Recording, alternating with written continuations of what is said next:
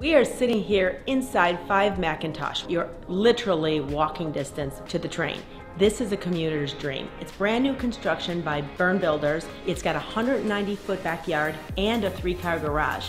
The inside is impeccably done. It's first class in every way.